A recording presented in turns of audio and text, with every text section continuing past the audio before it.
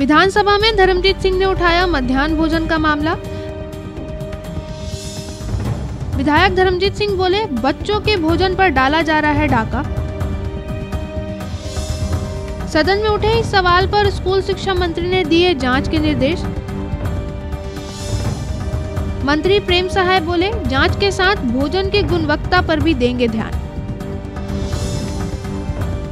विधानसभा में धर्मजीत सिंह ने उठाया मध्यान्ह भोजन का मामला। विधायक धर्मजीत सिंह बोले, बच्चों के भोजन पर डाला जा रहा है डाका।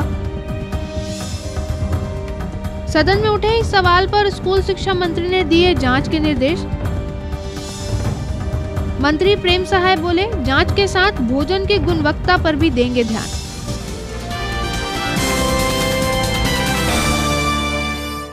ज़्यादा से ज़्यादा वीडियो अपडेट्स के लिए हमारे चैनल को सब्सक्राइब करें, लाइक करें और शेयर करें न्यूली अपडेट्स के लिए बेल आइकॉन का दबाएँ।